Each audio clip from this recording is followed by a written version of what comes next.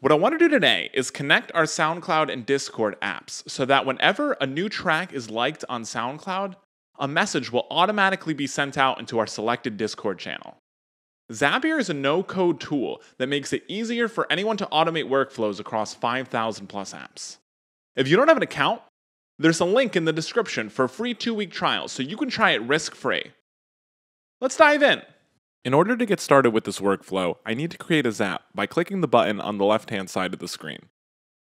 Because I want my SoundCloud likes to trigger a message in Discord, I'll need to use SoundCloud as my trigger. I can find the app by typing it into the search bar and clicking below. The trigger screen will then pop up. I should click New Track I Like as my event and then click Continue. Setting this as the trigger means that anytime SoundCloud sees that I like a track, it's going to run this workflow. The first time we set up SoundCloud, we'll need to authenticate it with Zapier. A link will pop up for you to log into your SoundCloud account.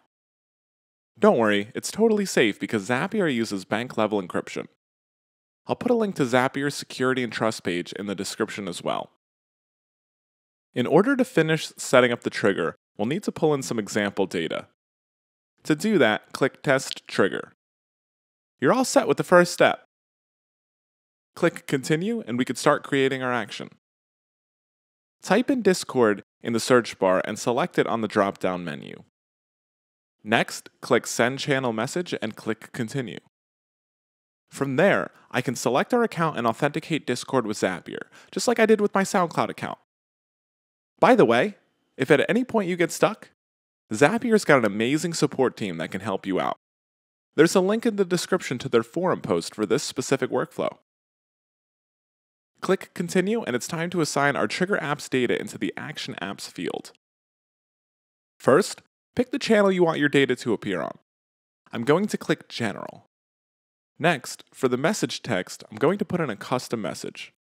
I'll type, check out this great song I found on SoundCloud, and then I'll click title on the drop down menu, followed by URL on the drop down. I'm going to click false under ping username role and everyone mentions because I don't want everyone to be pinged and name my bot SoundBot. Once that's complete, I'll click Continue. Next, click Test and Review, and I should be all set. Yep, there it is. This is ready to turn on. Now, anytime a song is liked in SoundCloud, a message will automatically be sent out in our selected Discord channel. I hope this was a helpful demo.